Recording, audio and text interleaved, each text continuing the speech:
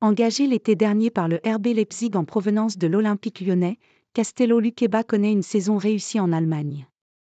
Cependant, le défenseur central pourrait bientôt revenir en Ligue 1. Tout comme Bradley Barcola, Castello Luqueba a quitté l'OL lorsque le club rhodanien était dans une situation délicate. Un choix qui a été vivement critiqué par les supporters des Gones. À Leipzig, le joueur de 21 ans a découvert la Ligue des Champions et s'est rapidement imposé comme un titulaire indiscutable, aux côtés d'autres d'anciens joueurs de la Ligue 1 comme Xavi Simons, Loi Opanda mais aussi les Français El Shaddai Bitsiabu et Mohamed Simakan. Toutefois, d'après les informations du spécialiste du mercato, Ekrem Konur, Castello Luqueba pourrait déjà quitter la Bundesliga.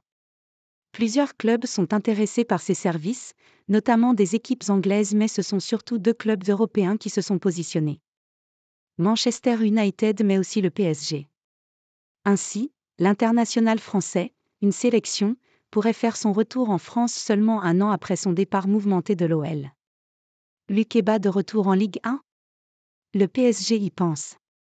Depuis l'été dernier, la direction du PSG vise de plus en plus de joueurs français.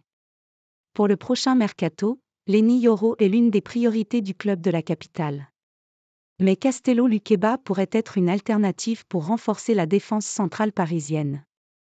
Ainsi, l'ancien lyonnais fera son retour à Lyon s'il rejoint Paris. Et tout comme Bradley Barcola, son accueil risque d'être assez bouillant après son départ controversé. Luqueba est évalué à 40 millions d'euros d'après le site spécialisé Transfermarkt. Reste à savoir si le PSG est capable de mettre le prix fort car Leipzig ne prévoit probablement pas de se séparer de son joueur, seulement un an après son arrivée en Allemagne. Manchester United est aussi probablement déterminé, compte tenu de la situation délicate des Red Devils sur le plan défensif.